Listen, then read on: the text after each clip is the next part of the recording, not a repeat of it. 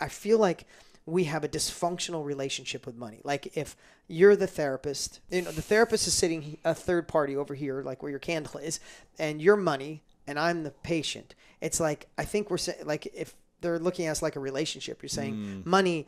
I don't like you. I think you're evil. I think you're wrong. But simultaneously, I'm always stressed about money, and I want more of it, and I want to be able to help people. I want like, And I feel like I never have enough. and I never have enough, right? So it's like it's the push and pull. It's like Yeah. a it's like a dysfunctional relationship.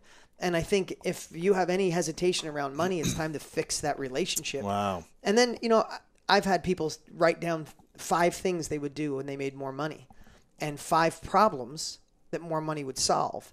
And most of the time, people write, "I'd make sure my mom was okay.